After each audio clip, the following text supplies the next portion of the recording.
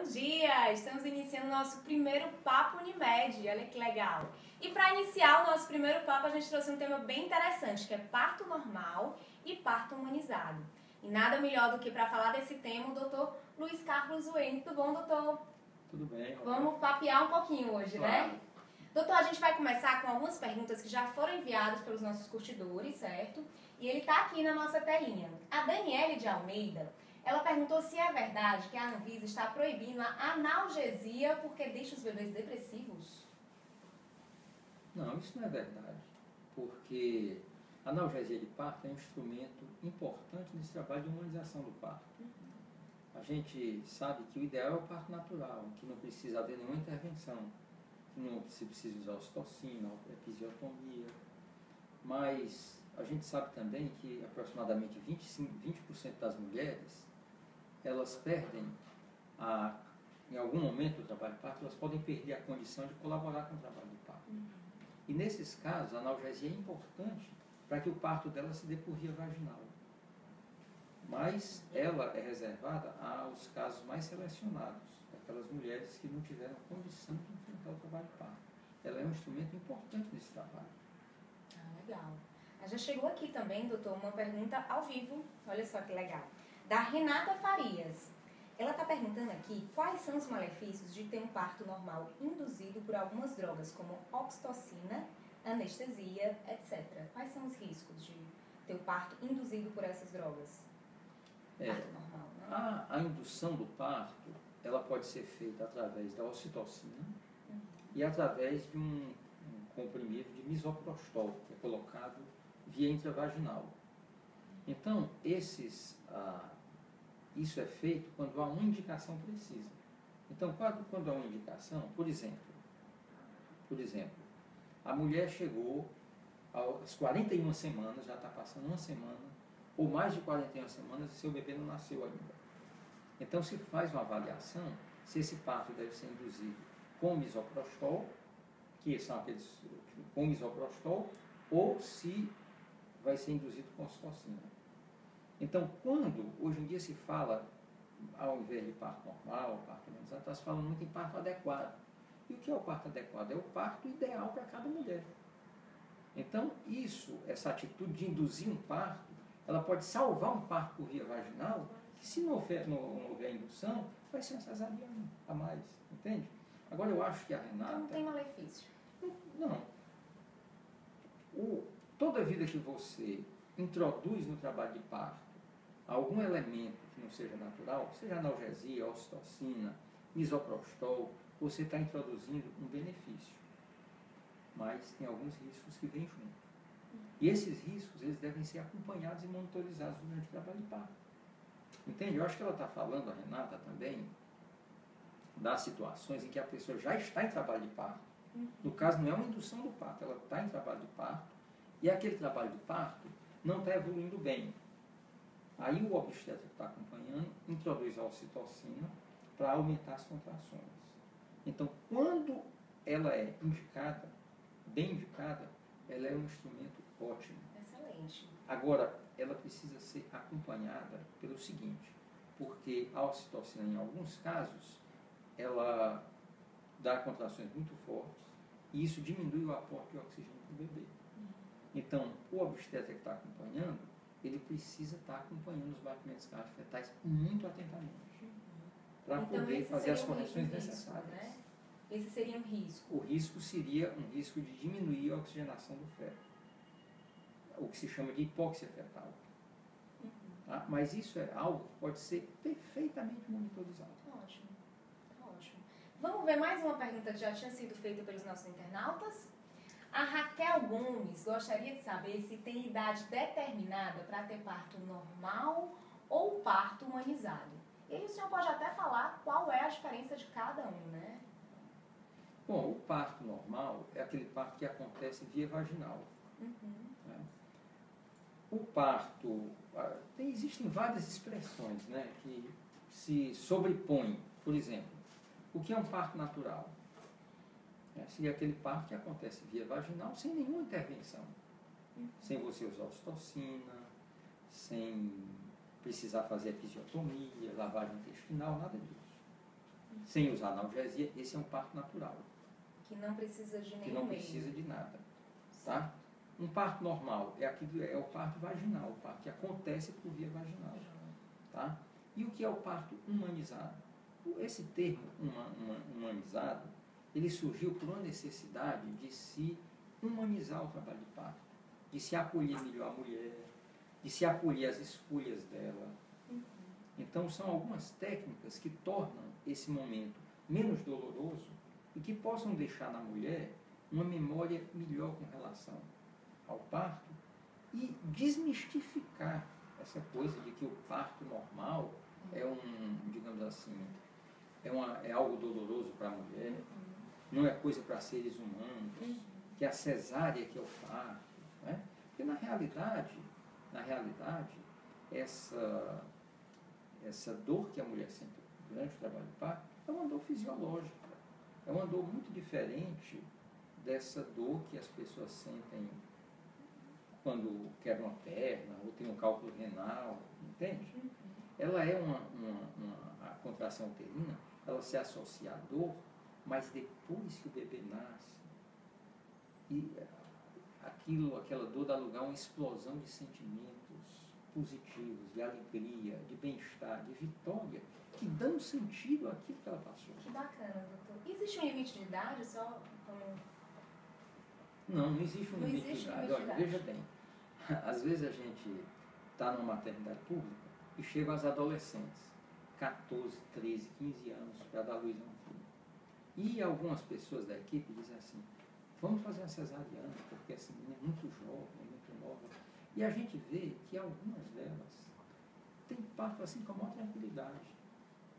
Entende? Então tudo depende da maneira como se assiste, da maneira como se prepara. E uma mulher de mais idade também, ela tem condição também de ter seu parto normal. Uma, uma primeira mulher com 40 anos de idade, 42, que vai ter seu primeiro filho, ela pode perfeitamente ter um parto normal. Né? O, a equipe está ali para acompanhar, para dar uma oportunidade a que ela possa ter o parto normal. Porque o parto é uma coisa surpreendente. Sabe? Tem pessoas que a gente acredita que são frágeis e na hora, como diz o outro, se garante. Né? e tem mulheres que às vezes a gente acredita que ah, essa vai parir, vai ser uma tranquilidade, vai enfrentar bem o trabalho, pá, e na hora ela dá uma amarelada. é, Então a equipe é quem tem que estar preparada para acolher bem qualquer tipo de mulher que se apresente. Você falou, doutor, até uma- é, no começo da- do nosso papo, sobre parto adequado, né? A gente tem que ver, nós mulheres, eu também pretendo ser mãe futuramente, a gente tem que ver qual é o parto adequado pra gente, né? Entender qual é o parto adequado e se jogar, né? É isso. Então, é, quando há uma indicação de cesariana, cesariana é o parto adequado. Tá ótimo. Né? É Porque a cesariana é uma cirurgia fantástica. Fantástica. E hoje, é, de tanto se fazer, se adquiriu uma prática muito grande de tornar uma cirurgia grande uma cirurgia, digamos assim, com maior simplicidade pela prática que se tem que fazer. né? Então, ela, ela não deve ser demonizada. Quando ela é indicada, é só ela mesma. Ah, tem outra pergunta aqui da nossa curtidora, da Mariana Matos, é, que fala um pouco do bebê também, que a gente estava falando naquela outra pergunta, né? A ana- analgesia, ela causa algum impacto no bebê, causa algum risco, algum dano no bebê? É, como eu havia falado anteriormente, é, o ideal é que o parto seja aconteça de forma natural. Mas quando há necessidade de se utilizar analgesia, o que é que a analgesia pode, digamos assim, influenciar negativamente no trabalho do parto? Ela pode diminuir a intensidade das contrações, Até porque a mãe vai ficar mais... É, porque tem determinados analgésicos que eles atingem as fibras sensitivas para tirar a dor, mas também atingem as fibras motoras. Mas hoje em dia já tem anestésicos que mexem só com a sensibilidade, não mexem com a parte motora. Tá? E, às vezes, alguns anestésicos também, eles tiram a força muscular que a mulher precisa fazer na hora do bebê nascer que é muito importante. No momento de nascer, tem que se associar a força da contração com a força voluntária que a mulher faz durante o trabalho de parto. E a analgesia, ela aumenta a necessidade de se fazer fósforos de alívio. Tá? Por, justamente pela falta dessa força Como da é é prensa esse abdominal. fósforo de alívio? É, o fósforo de alívio, o fósforo é um instrumento que, digamos assim, abraça a cabeça do bebê e se faz uma, uma força no sentido é, no sentido contrário ao que a mulher está, para que ele possa sair. Tá? Então o fósforo de alívio também é um instrumento que não é um, um, um Deus nos acuda, não é nada disso que as pessoas às vezes temem.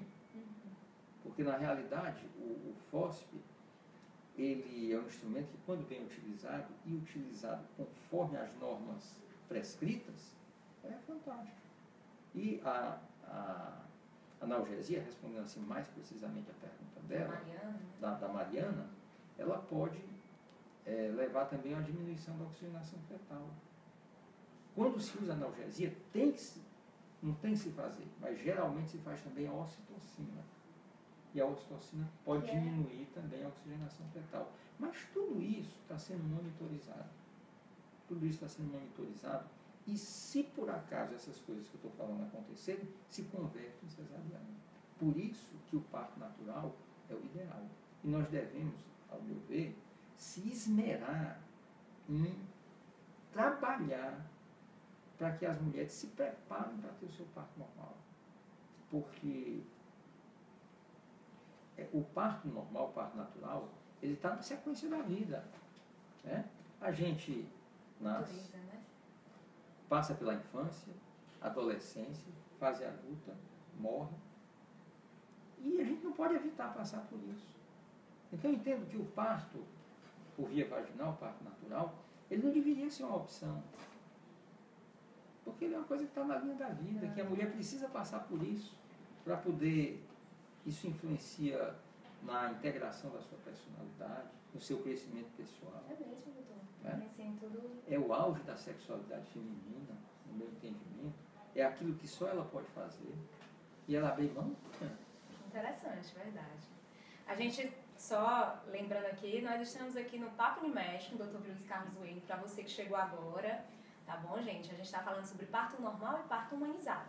Agora a gente vai ver outra pergunta que já foi feita pelos nossos internautas, através de uma postagem que a gente tinha feito aqui na TV, né, doutor? A Luana quer saber o que a gestante pode fazer para contribuir para o parto normal. Olha só, interessante. A pergunta vem bem na linha do que a gente estava conversando, né? É, certamente. Bom, Luana, a mulher, ela instintivamente, ela já tem essa capacidade de ter um parto natural. né? Então, as mulheres não devem achar que não tem condição de ter, não tem capacidade de ter um parto normal, de que não aguentam, porque eu escuto isso todo dia, por parte de algumas, graças a Deus, poucas mulheres. Se achar sem condições. Medo. Medo de ter um, ter Medo um de parto ter normal. parto normal. Mas veja bem, essa experiência do parto normal é a experiência mais antiga que a humanidade conhece. A mulher domina com perfeição isso aí. Né? A cesariana que é uma novidade, que veio de um tempo para cá. Muito recente na história da humanidade. Agora, o que acontece é que nós nos afastamos muito da natureza. Nós já saímos da comunidade rural e vivemos numa comunidade urbana em que a gente não sabe nem que fase da lua está, a gente não olha mais para o céu? A gente não está em contato com a natureza, então a mulher passa o, o seu período pré-natal todo dentro de um escritório e sai dali direto para a família. Então é bem diferente daquela condição natural de uma mulher do meio rural que, é, que quando ela, ela nasceu de parto natural, ela viu a sua mãe dar luz várias vezes. Ela com 5 anos de idade já cuidava dos seus É irmãos. natural para ela. É natural para ela. Então, para as mulheres urbanas, isso não é uma coisa tão natural. Então, Luana, uma coisa que a mulher pode fazer é se preparar, frequentar rodas de gestantes, frequentar o- os sites de mulheres, as comunidades do Facebook e fazer exercícios. E se entregar esses nove meses, ela priorizar isso nesses nove meses. em detrimento, assim, às vezes, das divergências no trabalho, das divergências na família. Ela deve procurar se conscientizar que esse momento é único que ela está vivendo. Legal, doutor. Eu acho que o senhor até já respondeu a, a pergunta da Ana Paula Albuquerque, que ela perguntou se o parto humanizado era totalmente seguro. É totalmente seguro, é natural, né? Parto humanizado, dependendo da. da é, é, totalmente seguro o parto? Bom, eu posso dizer para você que é o parto mais seguro que existe. É, a gente não pode dizer que ele é totalmente seguro, porque durante o trabalho de parto é, existe um risco mínimo, mas existe, de acontecer alguma hipóxia fetal, né, uma diminuição da oxigenação fetal, tá certo? Isso na cesariana também existe. A gente volta para o parto adequado, né? Volta para o parto adequado, tá? Que é adequado para você. Exatamente. Agora tem uma coisa, é Ana Paula. É a Ana Paula Buquerque. Pois é. Tem uma coisa, Ana Paula, que está tá acontecendo hoje em dia, com o grande desenvolvimento da tecnologia, é que nós estamos querendo ter um controle sobre tudo. Né? A gente quer controlar tudo. A gente não se conforma mais de saber o sexo do bebê com 16, com 20 semanas. Ela quer fazer um exame de sangue para saber logo no início. Né? Ansiedade. Quer ter um controle sobre to, tudo o que está acontecendo. E a gente não deixa nenhum espaço para a natureza se manifestar. Ai, mas é porque é tão gostoso, doutor, saber logo sexo, né? Ah, Preparar logo o enxoval. É super legal. Eu tenho, eu tenho é, duas filhas mais velhas que no tempo não, não sabiam o sexo. Eu não sabia o sexo delas quando elas foram nascer.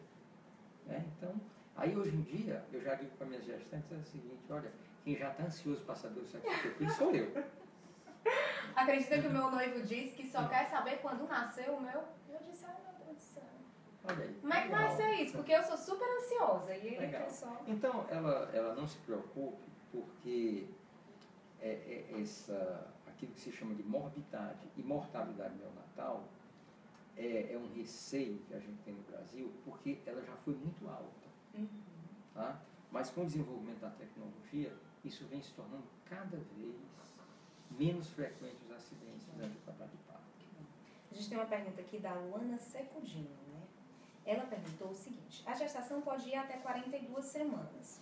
Qual o período máximo que o bebê pode ficar após esse período? Ou se após o período de 42 semanas, a mãe não se, se a mãe não sentir contrações, não ocorrer nenhuma perda de líquido, quando ela pode procurar o um médico? Boa pergunta.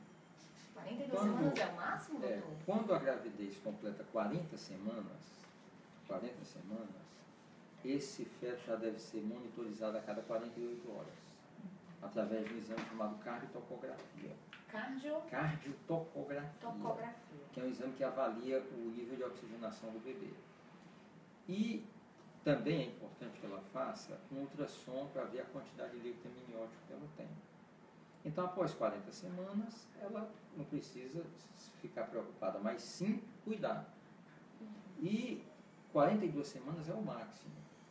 É o máximo que a gravidez pode chegar. Então é interessante que quando ela chegue com 41 semanas, 41 semanas e 3 dias, a gente já cuide de estar tá induzindo esse parto.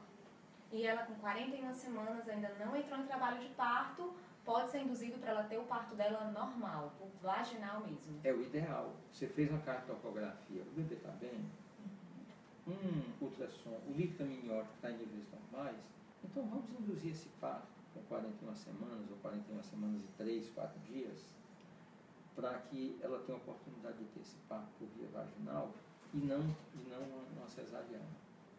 Ótimo.